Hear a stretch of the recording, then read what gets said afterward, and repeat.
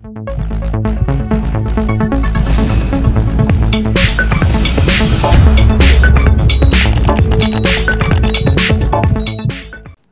hello welcome to our channel.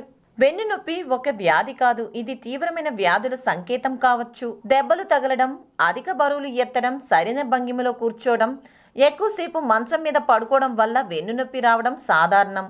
గర్భధారణ నెలసరి సమయంలోనూ వెన్నునొప్పి వస్తుంది. ఈ కారణాల వల్ల వెన్నునొప్పి వస్తే పెయిన్ కిల్లర్ బాంబ్స్తో నయమవుతుంది.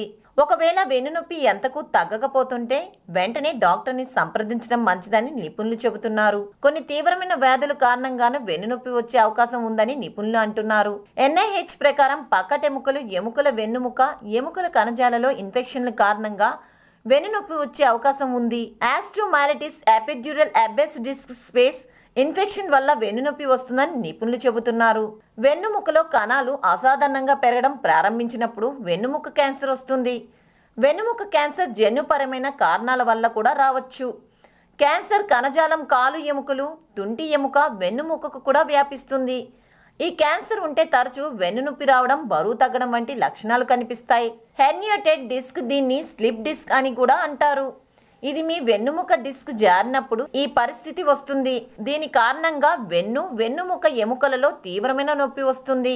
యాస్ట్రోపోరోసిస్ ఎముకలకు సంబంధించిన వ్యాధి.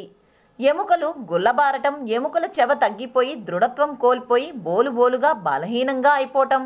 దీనికి మూలం ఎముకల కణజాలం సాంద్రత తగ్గుముఖం పడుతుంది. వెన్ను నొప్పి యాస్ట్రోపోరోసిస్కు సాధారణ లక్షణం. దీనితో పాటు మోకాలు తుంటి భాగాల్లోనూ నొప్పిగా ఉంటుంది.